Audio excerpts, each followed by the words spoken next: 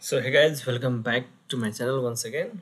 And we have just completed this introduction to Docker Lab for this Quest 4 of Google Cloud Developer Program 2022 and uh, this Kubernetes engine Qwik Start is already done because we have I think it is it was present inside that Quest 1, 2 or anyone 1, 2, 3 so no need to do this one. So we'll start this lab third lab. So let's start it click this start lab button.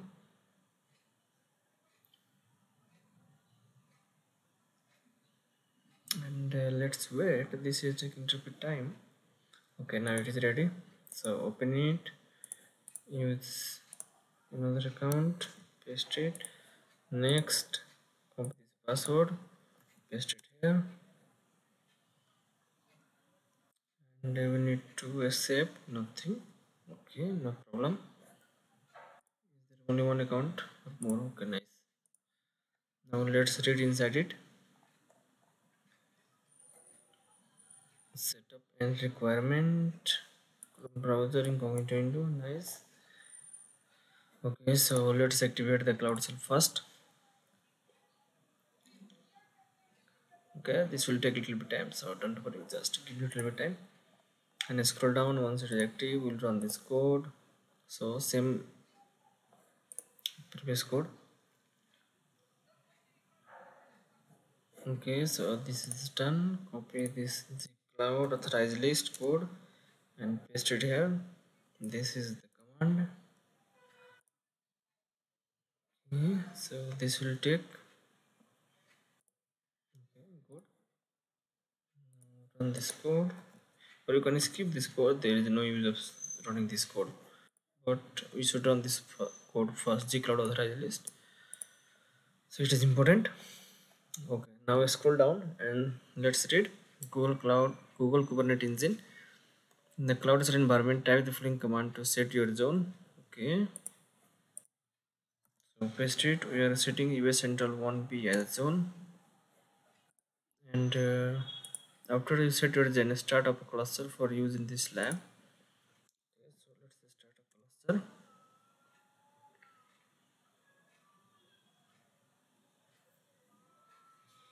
okay. Creating a cluster io in us central 1b it will take a while to create a cluster. Okay so let's wait. This will take a little bit time so let it start then we will continue. Till then let's wait. Okay so this is done. Our cluster is now ready. And took see the time it took around i think to three minutes no let's move. Next. Get the sample code. So let's clone the repository from the github.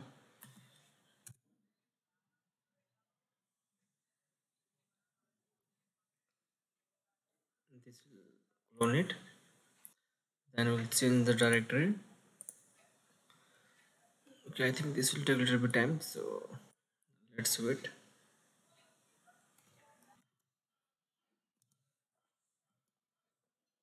okay so finally this is done. Now copy this second code to change the directory. Paste it here. Okay. Now let's list file inside this good now scroll down and uh, copy this code. Paste it here. Press enter. Now next code paste it here press enter. Okay so this one it is not in the ready status so need to wait a little bit. Use the given get port command to view your running nginx container. So let's check it once again. Okay so this is now ready. Mm, then we can move further copy this code paste it here. And now copy this last code paste it here. And uh, okay so it is under pending status. Still is in pending. So this may take a few seconds before the external IP address fail to populate okay so our external IP address for this. Nginx container is still under pending condition so this will take us a little bit time. So let's wait okay so this is external IP address we just got. So this is done. Now we can check our progress. Nice. So this is done now let's move inside this pod. Scroll down. So to create a pod first we need to run this code. So let's run it. And uh, now copy this code paste it here. Okay pod is created. Now copy the second one okay so this is the pod and it is in running condition. Nice. Now copy this code. Paste it here. Okay so these are the list. Now scroll down in the second terminal now you have two terminal one to run the kubernetes one port forward and another to curl the command. Okay. So here to run another terminal.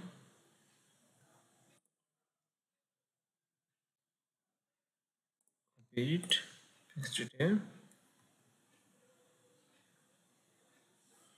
Okay. This is the second one. Now in the first terminal you can curl this command let's go inside it. Paste it here. Okay so hello message you've just got. Nice. You got verifying hello back from the container. Nice. And you also can see this command. Authorization field something like that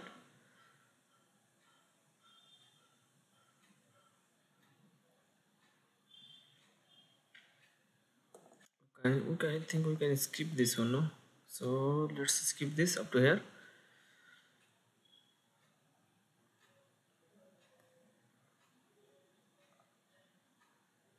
Now in the curl command track login terminal.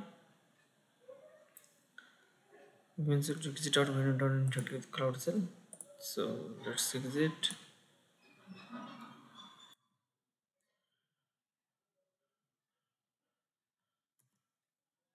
just press ctrl plus c. To stop it so it is stopped.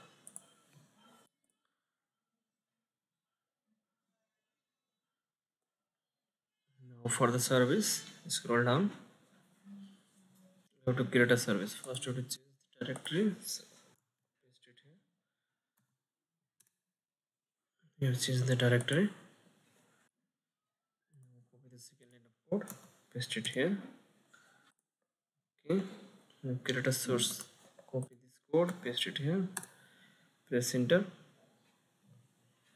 okay done now scroll down copy this code paste it here okay now scroll down a little bit okay now I'll copy this code copy it paste it here okay done done nice. Now use g cloud compute firewall rule. The okay copy it and paste it here. Press enter. Okay so our firewall rule is about to be done. This will take a little bit time. Okay done. Now let's check our progress. Good. Now first create an external IP address from one node. So copy this code paste it here. Okay this is external IP address and this is also external IP address. Now try hitting secure mode subscroll one. Okay you can ignore that curl command so don't no need to be worried. Now adding a label to the port. Currently okay now you can use that uh, few words running so copy it. No need to change the directory. Just paste it here. Okay. Now copy this one. Paste it here. No source found. Sorry. No source found in the default namespace. Seems like you have added. But um, it says no source found no no source found in the namespace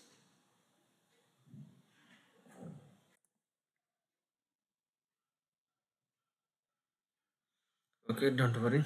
Let's run one by one. If you get error we'll check it from the beginning. Copy this code paste it here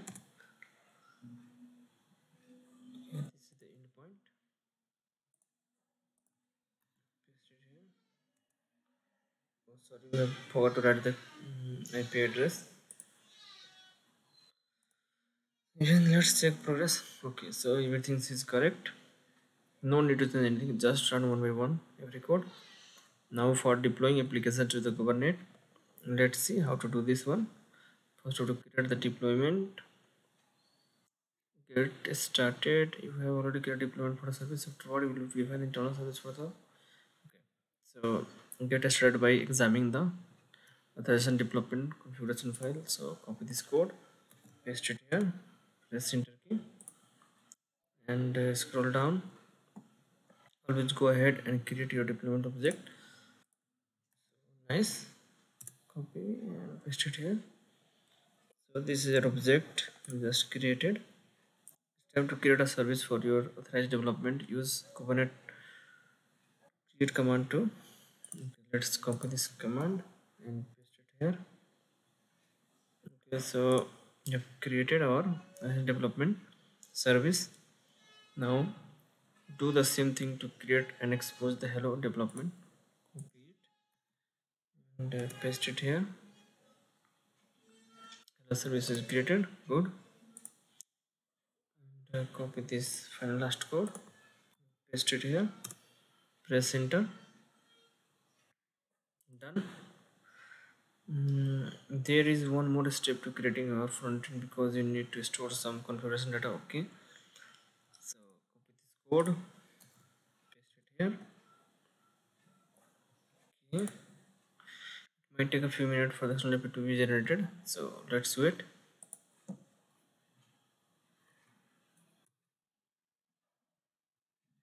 i think this will take a little bit time so we've got the external ip address.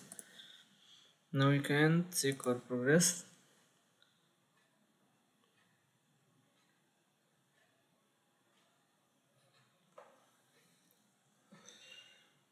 Okay this is taking a bit time. Done. So i think we have completed. This must give a hundred percent score.